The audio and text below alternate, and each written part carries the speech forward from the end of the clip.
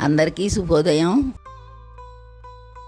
ఈ దీపావళి పండుగని మీరందరూ కూడా మీ కుటుంబ సభ్యులతో కలిసి జాగ్రత్తగాను సరదాగాను చేసుకున్నారని తలుస్తున్నాను. దీపావళి అనగానే రెండు రోజుల ముందు రెండు రోజుల తర్వాత టపాకాయలు వాటిలతో హోరెత్తుతూ చాలా సరదాగా ఉంటుంది. ఈసారి మన ఇంట్లో పిల్లల చేత డ్యూటీ కొట్టాక పెట్టడానికి మిఠాయి బూంది చేశాను. పూర్వం బాణసంచ అంతా మనం ఇంట్లోనే చేసుకునేవాళ్ళం కదా. మా చిన్నప్పుడు పాలేళ్ళతో కలిసి చిచ్చుబుడ్లు మతాబులు అవన్నీ మేము కూడా కూరేసేవాళ్ళం.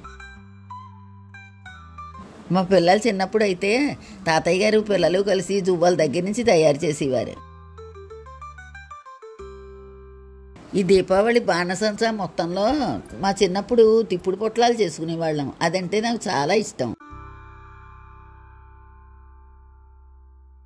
తాడి చెట్టు నుంచి చితుకులు తెచ్చుకుని అవి కాల్చి ఆ పొడం కొబ్బరికాయ ఒలిపించుకున్నప్పుడు డొక్క పొట్టు వస్తుంది కదా డొక్క పొట్టు రాళ్ళుప్పు ఈ మూడు కలిపి ఒక గుడ్డ పరిచి అందులో ఇవన్నీ వేసి మూట కట్టి ఒక తాటి కొమ్మని మూట కట్టి దానికి ఆవు పేడ పూత పెట్టి దాన్ని రెండు రోజులు ఎండబెట్టి వాళ్ళం. దీపావళి నాడు సాయంత్రం దాని మీద కొంచెం నిప్పుర వేసి ఉంచితే అది కొంతసేపటికి రాజుకునేది.